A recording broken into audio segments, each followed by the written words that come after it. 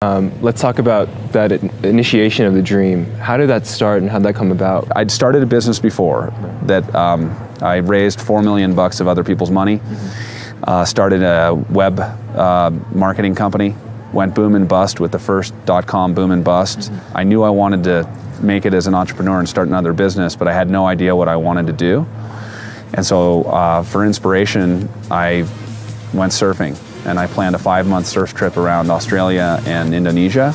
The inspiration came before I even left. I wanted to capture photos of myself and my friends that I was going on the trip with while we were surfing out in the water. And no camera existed that allowed you to do that. And so I set out to develop this wrist harness that I could put a single use disposable camera into and surf with it. Um, and it, I didn't even mean it to be a business idea. I just wanted to document my experience on this trip. And as soon as I got it working well, the light bulb went off and I realized, oh my God, there must be so many other surfers in the world that want something like this. So you started with wrist straps essentially. But how do you go from wrist straps, which are very simple, to hardware and to actually developing a camera? I wanted to use higher quality cameras with my wrist strap to capture higher quality photos, but every camera that I would use with the strap surfing, I would break the camera because cameras weren't designed to be used during rigorous activities like surfing. And what I ended up doing was I spent two years um, going to trade shows, uh, the camera trade shows around the world, to look for a camera that was close to what I would want to design. After a year and a half, about a year, I, I found it. And uh, got the manufacturer to agree to make the modifications and begin building the cameras for me. I actually did the deal without ever meeting the actual company.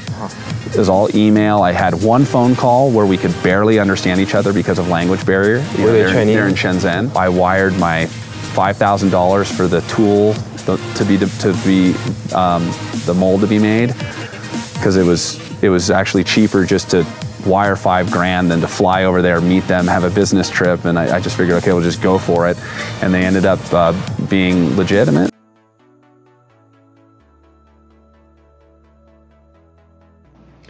While on his Balinese surf trip, Woodman realized that there was a market for his wrist mounted waterproof camera. Surfing photography had long been an area that required a lot of money.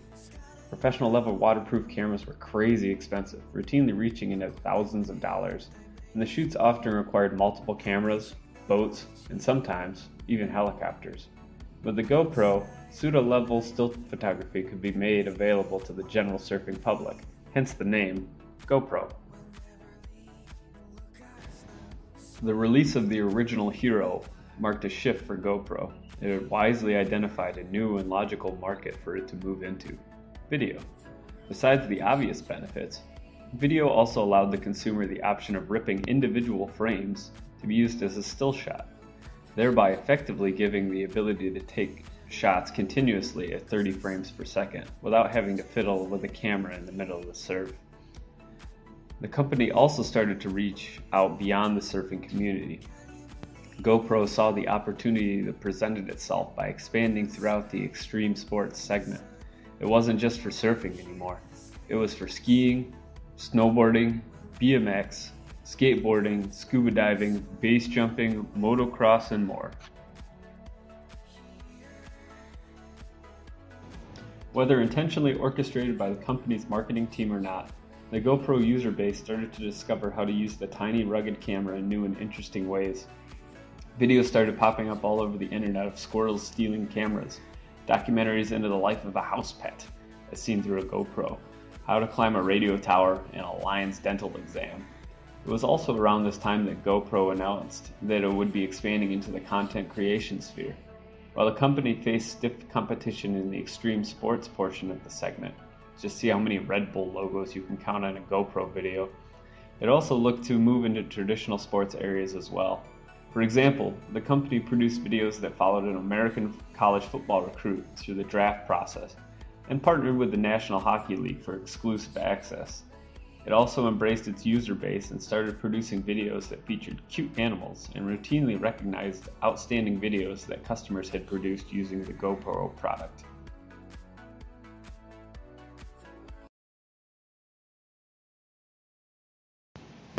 The explosion of alternate GoPro uses also led to an interesting convergence of tech. As folks started strapping their GoPro cameras to their new remote controlled drones, Woodman became intrigued by this. Remember the helicopters from the surf videos? Well, here was the technology to replicate the effect with a fraction of the investment. GoPro decided to open up talks with drone manufacturers in order to collaborate on a product. After talks fell through with first mover and industry giant DJI and another failed partnership with 3D Robotics, GoPro ignored the warning signs and pushed ahead by deciding to develop its own drone in house. The product was met with numerous delays, cost overruns, and even a recall, but GoPro finally launched its Karma drone in January of this year, just in time to enter a market that is seeing two of its three largest companies laying off a large portion of their workforce.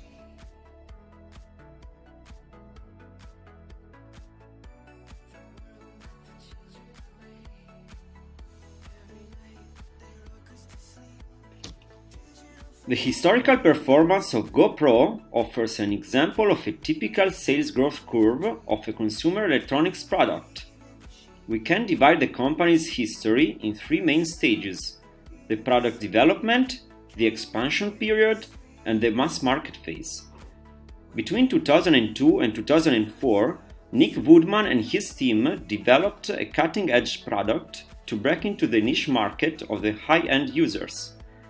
Then it took four years to GoPro to succeed and reach the mass market by 2008. From 2009 onwards, the company is globally recognized and started introducing the new products in the market constantly.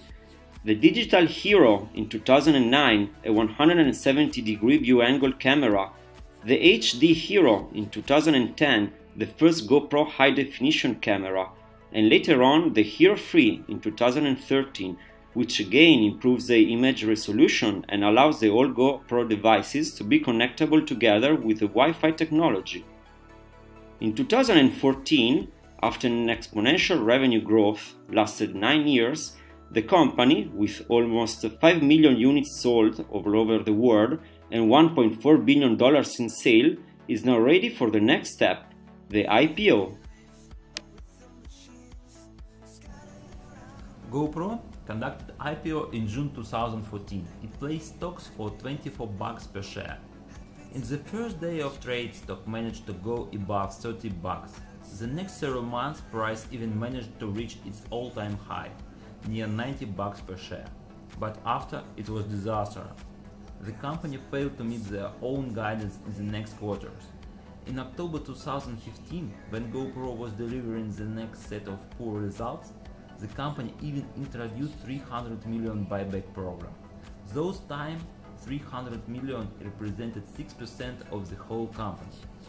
It was the attempt to defeat IPO price. Fortunately, buyback lasted not too long and only 35 million dollars were burned. The stock prices fall more than tenfold from its maximum to minimum prices. The last price still not so far away from minimum price.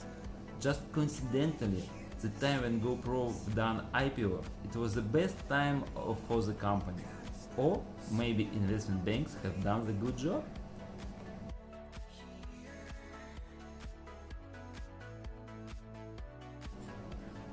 Let's look at the financials. Exactly before the IPO, the top line grew 87% in 2013 and 41% in 2014. The bottom line was up 88% in 2013 and 111% in 2014, which is amazing and sounds like an attractive investment story. But what happened next? Revenue slowed down to 16% growth in 2015 and fall 27% in 2016. As to net income, it fell 71% in 2015 to poor 36 millions. And finally, GoPro got a huge loss, 419 million loss. The main anchors are R&D and sales and marketing expenses. In an effort to address heavy competition, GoPro inflated the both figures. The former number is grown by average rate of huge 80% through the years 2012-2016. The later figure by 33% during the same period of time.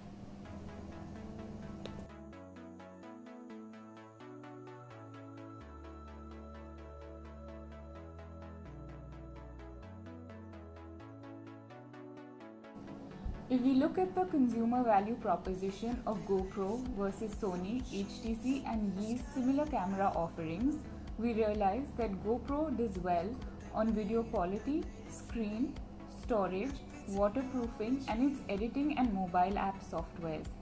However, it performs poorly on price, battery, and accessories. In fact, if we look at the huge gap on the last two parameters, it is exactly where new entrants are coming in by the hordes, offering free accessories and longer lasting battery.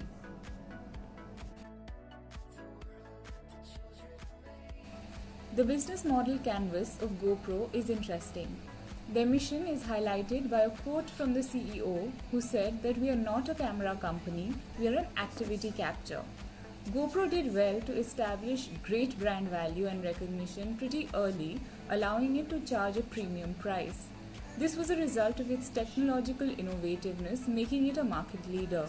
However, with copycats catching up and the market maturing, GoPro faces severe challenges. In fact, they are now changing their marketing campaigns from high flying activity based advertising to more product based family centric ads.